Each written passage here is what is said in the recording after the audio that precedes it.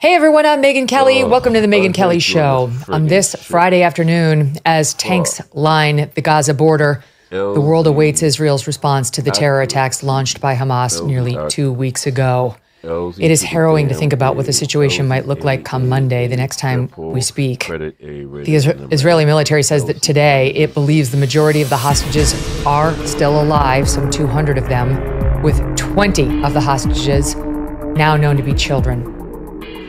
I should say we don't know for sure that they're going to embark on this ground invasion. There have been some questions about whether they will actually do it. It will be extremely complicated, it will be extremely deadly, risky. There will be an enormous loss of life on both sides. Uh, and so there has been speculation about whether they're reconsidering it, given that we're almost at the two week mark from the day of the attack. However, the signs this morning would certainly point to a- a- an invasion at any moment.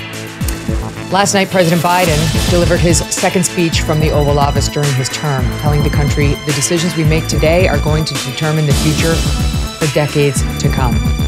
Joining me now, David Marcus, columnist and author, and Noah Pollak, contributor to the Washington Free Beacon. Hey, subscribe to the show on YouTube and follow me on Facebook, Instagram, and Twitter. Negative dings on credit reports happen to all sorts of people from all socioeconomic backgrounds. Understanding the credit landscape can be extremely tough, and spending the time to dispute and repair these so called dings can be a full time job. Good luck to you if you already have one of those, kids, or anything else in your life. For starters, you're going to have to deal with three separate credit bureaus. It's a massive headache. Who wants to deal with this? It's also a common misconception that people with poor credit scores are just those who simply don't pay their credit card bills. These can be very hardworking people who are negatively affected by divorce, identity theft, medical debt, student loans, and they just don't have the time or are too overwhelmed to fix it. But if you do not address negative credit items, they can haunt you for years to come, and when it counts the most, like getting a mortgage at a competitive rate.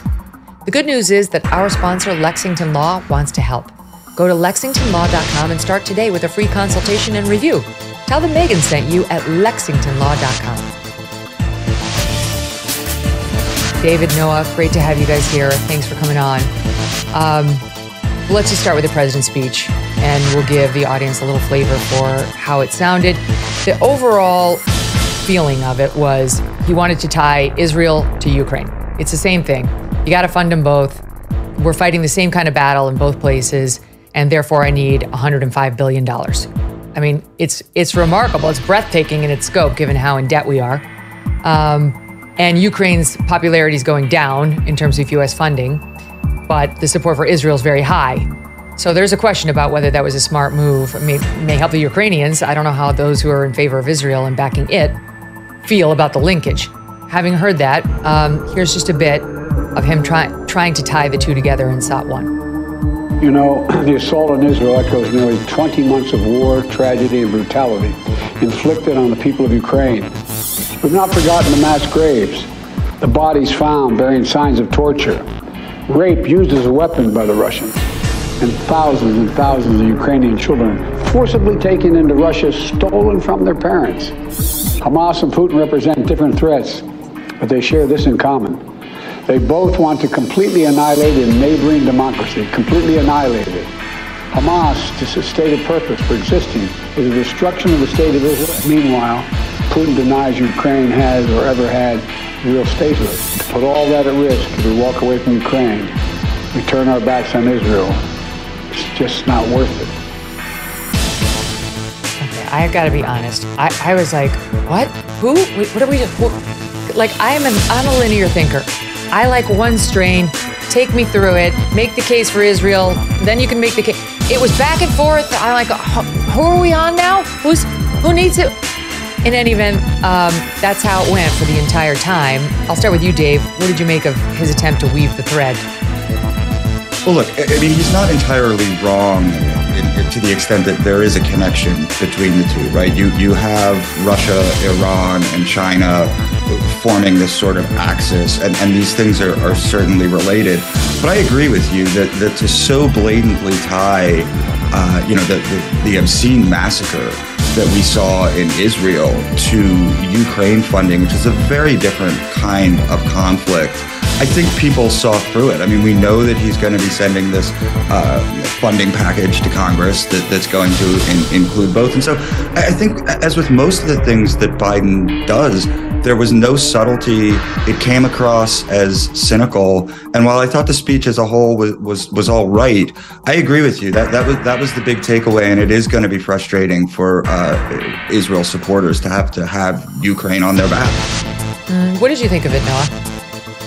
Um, yeah, I, I basically agree with, with some of what you said here. I mean, uh, I think that there's, there's there's a big similarity between the two, and then there's a big difference. And um, I think the big difference is that the Hamas uh, attack on Israel and the general Iranian campaign in the Middle East is genocidal in nature. I mean, the goal of this is to wipe out uh, the, the, the, Jewish state and, if they can, the Jewish people. And so that is a a, a sort of a just a, a different type of of, of uh, effort by the Iranians than what Putin is doing in Ukraine, where his goal is is territorial. He wants to control Ukraine. He wants to intimidate Europe. He wants to challenge NATO.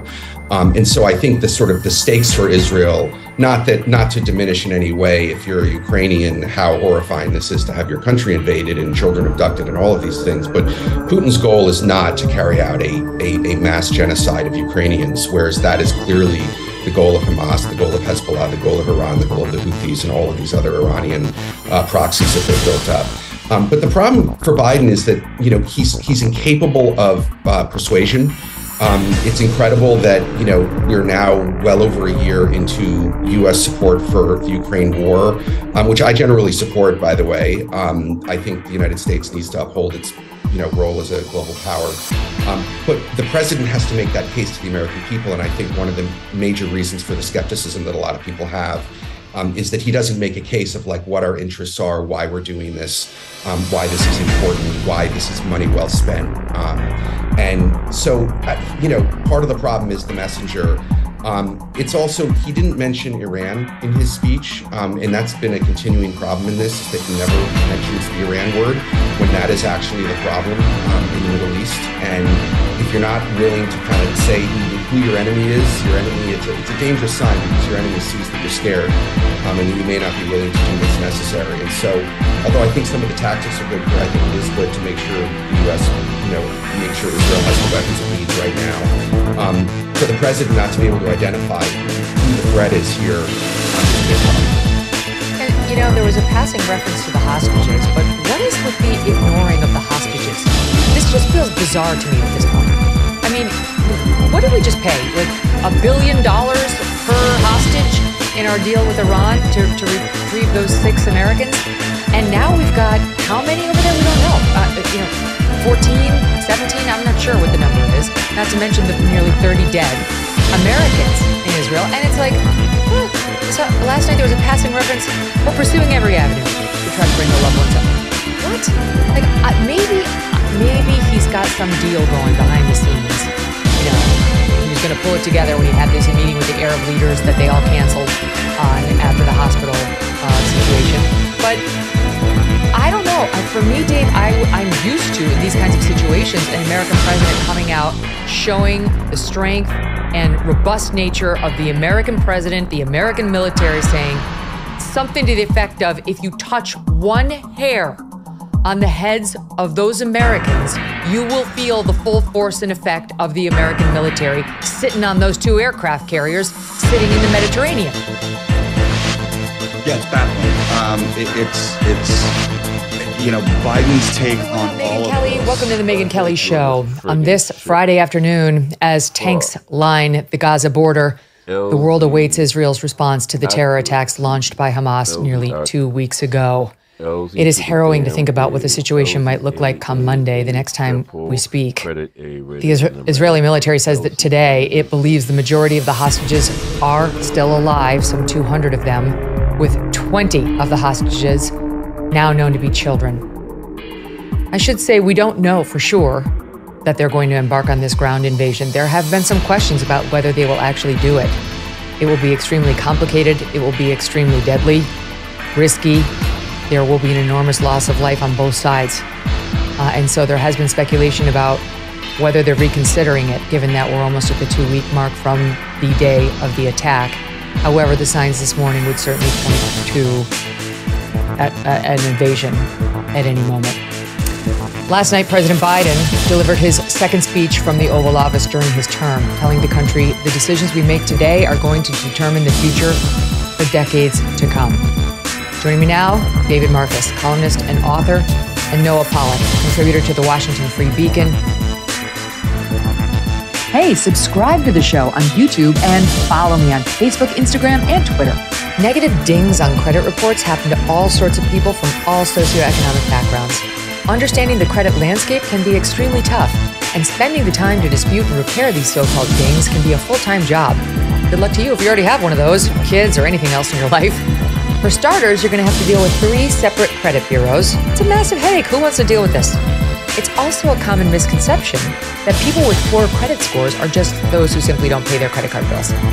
These can be very hardworking people who are negatively affected by divorce, identity theft, medical debt, student loans, and they just don't have the time or are too overwhelmed to fix it. But if you do not address negative credit items, they can haunt you for years to come, and when it counts the most, like getting a mortgage at a competitive rate. The good news is that our sponsor, Lexington Law, wants to help. Go to lexingtonlaw.com and start today with a free consultation and review. Tell them Megyn sent you at lexingtonlaw.com. David, Noah, great to have you guys here. Thanks for coming on. Um, let's just start with the president's speech and we'll give the audience a little flavor for how it sounded. The overall feeling of it was he wanted to tie Israel to Ukraine. It's the same thing. You got to fund them both. We're fighting the same kind of battle in both places, and therefore I need $105 billion. I mean, it's it's remarkable. It's breathtaking in its scope, given how in debt we are. Um, and Ukraine's popularity is going down in terms of U.S. funding but the support for Israel is very high. So there's a question about whether that was a smart move. It may, may help the Ukrainians. I don't know how those who are in favor of Israel and backing it feel about the linkage. Having heard that, um, here's just a bit of him try, trying to tie the two together in SOT 1. You know, the assault on Israel echoes nearly 20 months of war, tragedy, and brutality inflicted on the people of Ukraine. We've not forgotten the mass graves, the bodies found bearing signs of torture, rape used as a weapon by the Russians, and thousands and thousands of Ukrainian children forcibly taken into Russia, stolen from their parents. Hamas and Putin represent different threats, but they share this in common. They both want to completely annihilate a neighboring democracy, completely annihilate it. Hamas, stated purpose for existing, is the destruction of the state of Israel. Meanwhile, Putin denies Ukraine has or ever had real statehood. To put all that at risk, if we walk away from Ukraine, we turn our backs on Israel, it's just not worth it. Okay, I've got to be honest. I, I was like, what? Who? What are we? Like, I'm, an, I'm a linear thinker. I like one strain. Take me through it. Make the case for Israel. Then you can make the case. It was back and forth. I'm like, who are we on now? Who's who needs it? In any event, um, that's how it went for the entire time. I'll start with you, Dave. What did you make of his attempt to weave the thread? Well, look, I mean, he's not entirely wrong to the extent that there is a connection between the two, right? You you have Russia, Iran, and China forming this sort of axis, and, and these things are, are certainly related. But I agree with you that, that to so blatantly tie, uh, you know, the, the, the obscene massacre that we saw in Israel to Ukraine funding, which is a very different kind of conflict. I think people saw through it. I mean, we know that he's going to be sending this uh, funding package to Congress that, that's going to in, include both. And so I think, as with most of the things that Biden does, there was no subtlety. It came across as cynical. And while I thought the speech as a whole was was, was all right, I agree with you. That that was that was the big takeaway, and it is going to be frustrating for uh, Israel supporters to have to have Ukraine on their back. Mm, what did you think of it, Noah? Um, yeah, I, I basically agree with, with some of what you said here. I mean, uh, I think that there's there's there's a big similarity between the two, and then there's a big difference. And um, I think the big difference is that the Hamas uh, attack on Israel and the general Iranian campaign in the Middle East is genocidal in nature. I mean, the goal of this is to wipe out uh, the, the, the, Jewish state and, if they can, the Jewish people. And so that is a a, a sort of a just a, a different type of of, of uh, effort by the Iranians than what Putin is doing in Ukraine, where his goal is is territorial. He wants to control Ukraine. He wants to intimidate Europe. He wants to challenge NATO. Um, and so I think the sort of the stakes for Israel, not that not to diminish in any way, if you're a Ukrainian, how horrifying this is to have your country invaded and children abducted and all of these things. But Putin's goal is not to carry out a, a, a mass genocide of Ukrainians, whereas that is clearly the goal of Hamas, the goal of Hezbollah, the goal of Iran, the goal of the Houthis, and all of these other Iranian uh, proxies that they've built up. Um, but the problem for Biden is that you know he's he's incapable of uh, persuasion. Um, it's incredible that you know we're now well over a year into U.S. support for the Ukraine war, um, which I generally support. By the way, um, I think the United States needs to uphold its you know role as a global power. Um, but the president has to make that case to the American people, and I think one of the major reasons for the skepticism that a lot of people have um, is that he doesn't make a case of like what our interests are, why we're doing this, um, why this is important, why this is money well spent. Um, and so, uh, you know, part of the problem is the messenger. Um, it's also, he didn't mention Iran in his speech, um, and that's been a continuing problem in this, is that he never mentions the Iran word when that is actually the problem um, And if you're not willing to kind of say who your enemy is, your enemy, it's a, it's a dangerous sign because your enemy sees that you're scared um, and you may not be willing to do what's necessary. And so, although I think some of the tactics are good I think it is good to make sure the U.S., you know, make sure Israel has the weapons it needs right now. Um, for the president not to be able to identify who the threat is here um, and, you know, there was a passing reference to the hostages, but what is with the ignoring of the bizarre to me at this point. I mean, what did we just pay? Like a billion dollars per hostage in our deal with Iran to, to retrieve those six Americans?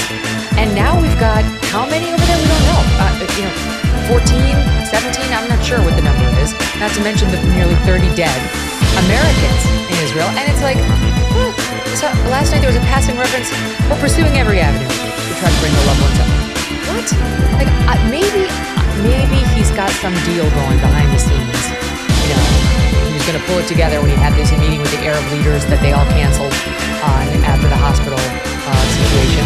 But I don't know. For me, Dave, I, I'm used to these kinds of situations an American president coming out showing the strength and robust nature of the American president, the American military, saying something to the effect of if you touch one hair on the heads of those Americans, you will feel the full force and effect of the American military sitting on those two aircraft carriers sitting in the Mediterranean. Yeah, it's baffling.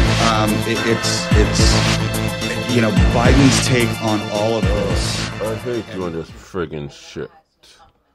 Fuck.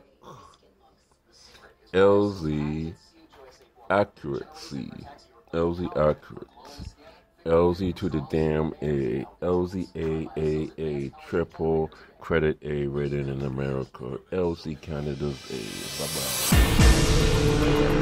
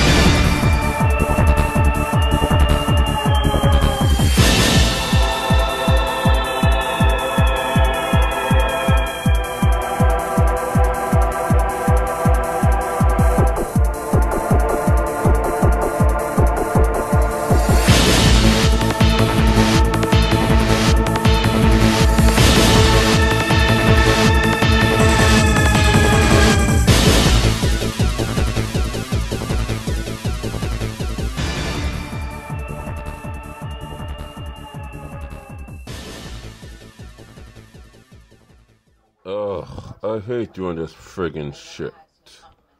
Fuck. LZ accuracy. LZ accurate. LZ to the damn A. LZ A A A triple credit A rated in America. LZ Canada's A. Bye bye.